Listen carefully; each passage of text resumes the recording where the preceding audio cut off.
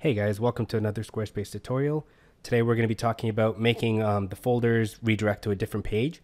Right now by default if you go to like about and you click on about it'll take you to the first um, page inside of there which is about us. So for example if I'm on the home page and instead of clicking on about us if I just click on about it'll take me to the about us page which is how Squarespace has it set to work and it works for most people but um, some people want, you know, this to, for example, the services. Instead of going to service one, they want, you know, a service page that shows all their services um, to be the first thing people see when they click on services.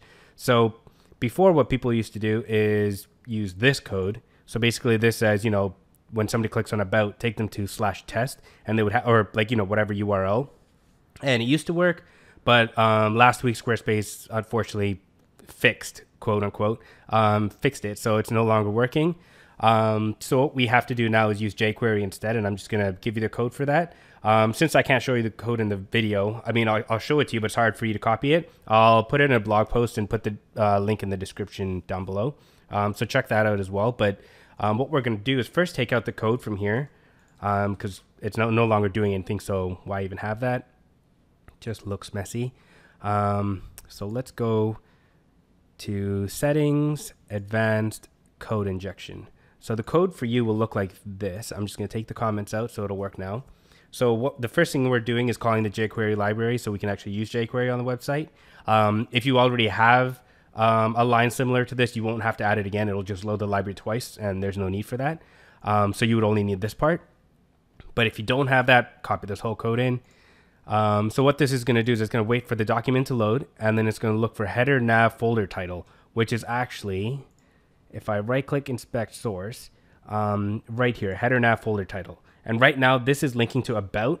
So the, uh, the word about is linking to the page about. So what we're going to do is change the href to whatever we want. So header nav folder title is a class. So we're telling it look for that class and equals zero just means it's going to be the first folder you come across. So zero is the first folder. Um, I have two folders, so I'll show you how, you know, modify it later. But so this will go to the first folder and we're going to take the property called href, which is, you know, the link that it goes to, and we're going to change it from about to projects, so slash projects. So now if I hit save and I go back, um, just keep an eye on the bottom left here. That's where it'll show, you know, where the link is going to go to. So if I click on, uh, like not even click, if I hover over about, you'll see that in the bottom left, it says slash projects now. And if I actually click on about, it'll take me to the projects page, which doesn't exist. So it'll go here.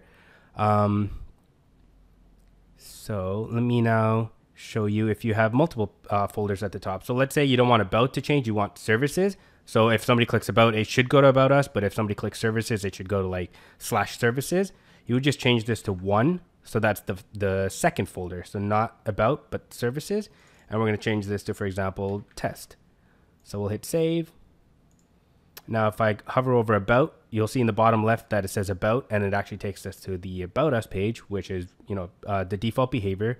But if somebody clicks on services, instead of going to service one, it'll take them to slash test, which doesn't exist because I haven't made the page, but it does work. Um, now, what if you want to take, uh, use both of them? So you want about to go to somewhere else and services to go somewhere else. You actually just need to copy this middle line right here. Um, all of this, you know, we can say once the page is done loading, do both this and this. So we're going to do add zero. So that's the first folder, add zero. And this is uh, the second folder. So this is going to go to about test and this is going to go to services test just so you can see that it is working.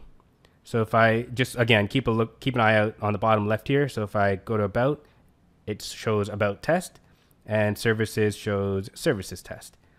Okay, so that's how you do it and um, it should like you see how we're using header nav folder title. That should work for everything in the Brine family. Um, there are you know other templates out there, of course, so you might be using um, one of these other templates. Also, if you are on the Brine family, you can actually stop watching the video now because the rest of this won't be relevant to you. Um, but let's say you're using one of the other other templates, right? All you have to do is basically, um, let me go to Bedford Squarespace, just so I can kind of show you what I would do. So for example, let's say you're using Bedford, which is another template. Uh, preview Bedford. Uh, view demo demo site. Okay. So uh, they have a folder here. So about. So all you would do is you go you go to your website. You would find your folder in the navigation. you would right click it and then click on inspect. And then right here is yours. So um, it looks like in Bedford, it's called folder. So it's just, just folder. Um, so you would actually have to uh, target folder toggle um, just because if you look at it, the link is associated with here. So it all has to be on the same line. So, um, you know, data ref is equal to this. So you want to click on folder toggle and that's what you want to use in the code right here. So in between the quotes, leave the period at the beginning because that means, you know, it's a class. And then you paste this and then equal one, and that would pick the first um, folder. Now it should work. If it doesn't, uh, if you find a template that it, this doesn't work on, just, you know, comment down below and I'll uh, find the code for that and then I'll um, paste it as a comment or I'll just uh, update the blog post as needed. Um, but yeah, I hope this helps. If it does, uh, be sure to like the video and subscribe uh, for more tutorials. And I'll see you next time.